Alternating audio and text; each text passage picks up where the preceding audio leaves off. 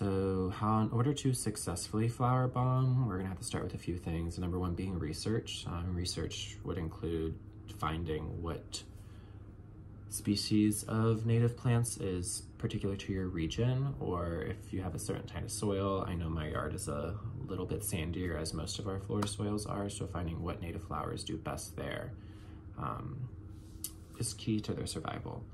Um, next would be to obtain materials. Um, so these materials you can often find around your house. Um, I know in a lot of the challenges I've seen for flower bombing, they often have it in like a Parmesan shaker.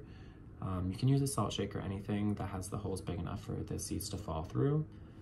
But next would be to find the native seeds. Often they donate these seeds at the end of the season. So I know I used to work at Home Depot and around winter time, they didn't have enough for the holiday displays and the big seed display. So they would donate the seeds and then throw away the big, that big display. So you can often get them for free. So I would recommend um, checking with them to see if you tell them for a school project or something, they might donate them but the big bag is usually around $10 and the small seed packets for the specific flowers are often one to two.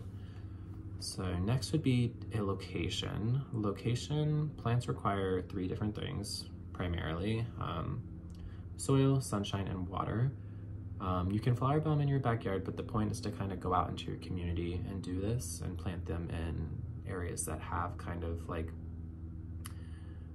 not the best looking, I would say, um, flower beds. So often if you have like one in your, your city that just looks a little rundown, sprinkle some seeds in there. They already have sprinklers if it's a city flower bed or someone to tend to them.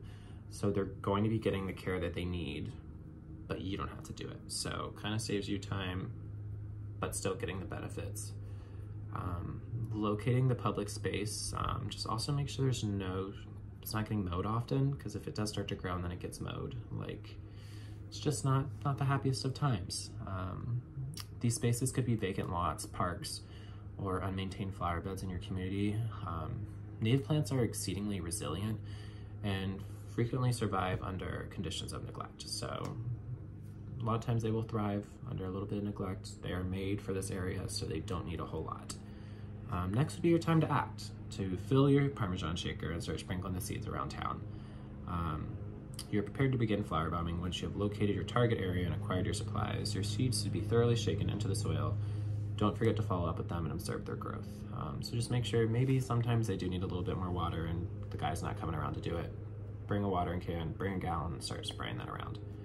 Um, after you act and your flowers start to grow, next would be to share and kind of challenge other people to do the same. Um, the purpose of flower bombing is to increase the pollinator populations in your area, so getting everyone to do it your odds of success are greater.